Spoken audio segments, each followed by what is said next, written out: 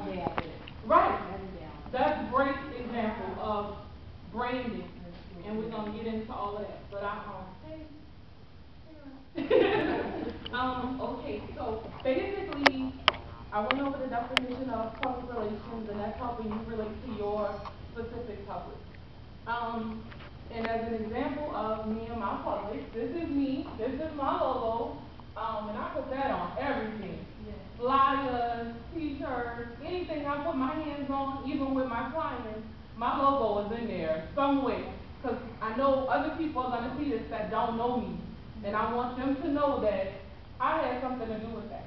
Even if they don't know me or see me, they're gonna see this somewhere else, and they're gonna say, hey, that girl did such and such, and she's doing this, so I need to see, you know, what they're about. And that's the point that you wanna get to where your public relations work for you. And it brings people to you without you even having to go out anymore and, and kind of be as hands-on. Um, that's me. Um, that's the little, who was, I don't know, rubber, something, animals that I use, uh, to represent, before I had a logo, cause Amazon, people think, oh, okay, Amazon, jungle, rainforest. So I always try to associate, that's why we have the little wet week to kind of remind you and draw you back to, okay, Amazon.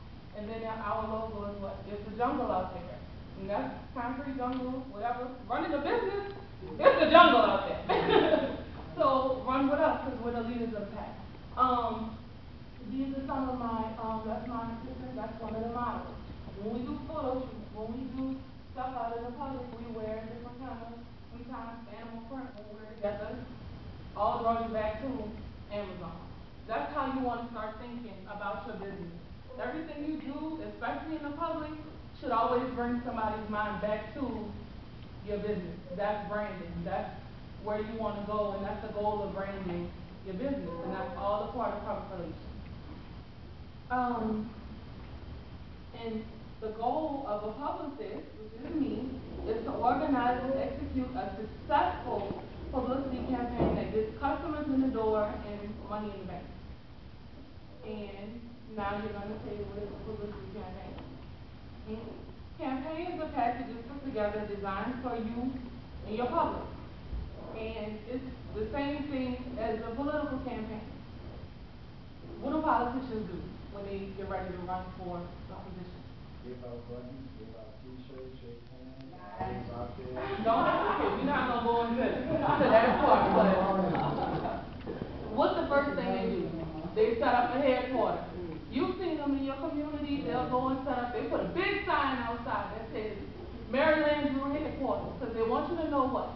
They're in your community. And it's coming in your heart. Right, that's their logo, right, and then they start, oh, well, sometimes, depending on how big your church is, they might come to your church, because that's, that's a bigger public, that's, they're reaching their public. Um, then they do, they put out the lawn signs with their logo, they go out and shake hands and introduce themselves. Oh, well, yeah, some of them have enough money to put together the phone campaign that calls your house and you're gonna vote for them. Business cards like this. Right, and what is that? That's visibility, they're visible, let me see that. This is for, uh, Louis Shopping, the, um, State representative here. That's his picture. So if you see him anywhere, he wants you to know, this is me, this is what I'm running for, and then all his literature is on the back. And that's their way of coming into your home and making themselves personable to you. Because that's how you're gonna vote for them.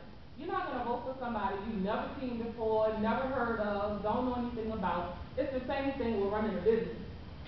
If you never go out, nobody knows what you sell, they can't come to you because they don't know, they don't know what you have going on. Somebody sent me a friend request on Facebook and it just said the name of the place. It didn't say club, it didn't say, I didn't know what it was. I was like, this might be a sex club, I don't know, I ain't adding that. But it was a, um, like a lounge.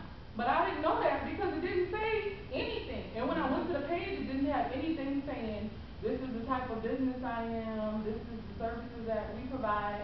And it really is gonna shortchange you in the long run.